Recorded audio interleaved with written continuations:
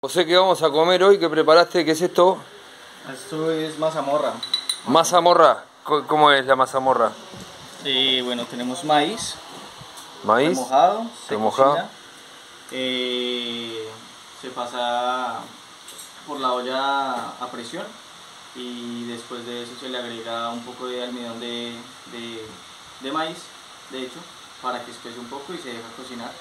Se le pone canela, clavos y al finalizar se le pone un poco de, de- de azúcar rubia o en Colombia panela. Sí, sí, sí hay. Plato, José, que vamos a comer, ¿qué es esto de acá? Es una bandeja paisa. Pará, ¿no lo dijiste, lo dijiste bien? ¿Cómo? Una bandeja paisa, hombre. Ah, ahora sí. Bueno, la bandeja paisa tiene, bueno, tiene de todo, ¿no? Arroz, palta, huevo, carne, eh, frijol, arepa y chorizo. ¿Qué es la arepa para la persona que no, no sabe? La arepa es como, hazle cuenta, una tortilla.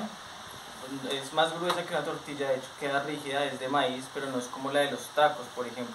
Es mucho más gruesa y tiene un proceso diferente. que ¿Es la- esta de acá? Que, la, que es la de los tacos, sí. Esta quedó especial. Muy bien, vamos, vamos a probar.